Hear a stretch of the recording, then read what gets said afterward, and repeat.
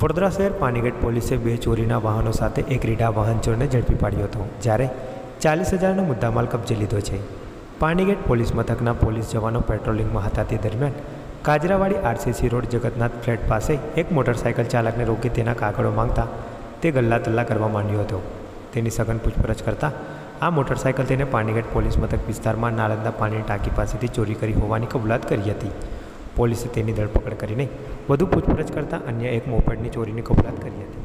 પાણીગઢ પોલીસે વિજય જગદીશ દેવીપૂજક રહે. મહાનગર બુડાના મકાન ડભોઈ રોડની ધરપકડ કરીને ચાલીસ હજારનો મુદ્દામાલ કબજે લીધો હતો.